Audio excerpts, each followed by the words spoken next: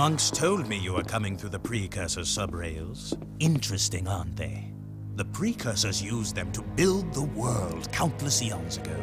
The rail system leads deep into the planet, where it said the Ancient Ones wait to bestow unimaginable powers upon the worthy. I will save the world with that power, just as Mar did. Yeah, you've done a great job so far, letting the metalheads destroy the palace. Oh, you couldn't be more mistaken, dear boy. We're on a time clock, Jak. That light in the sky, do you know what it is? Our nightmare has found us and the end is coming.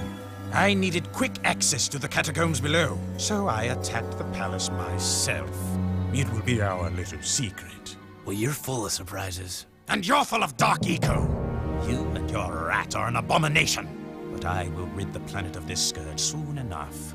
Pure light will rule the universe, and I will be the bright light that shines to every corner of the world and destroys all shadows! Uh, excuse me, Count Vulgar. It's Veger! Yeah, whatever.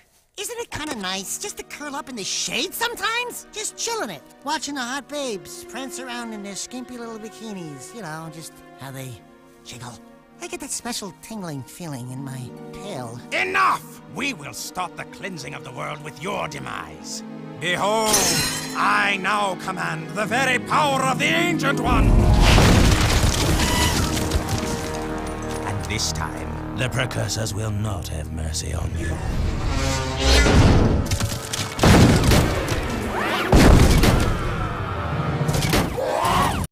It's alive, Jak!